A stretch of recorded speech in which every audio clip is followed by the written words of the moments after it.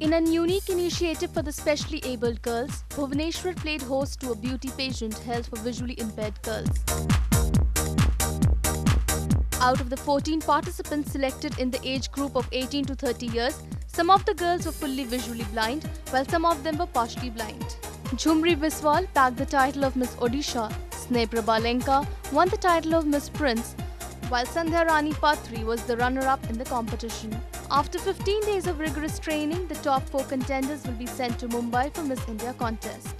The pageant, organized by the state branch of the National Association for the Blind, was held at the Vocational Rehabilitation Centre for Handicapped.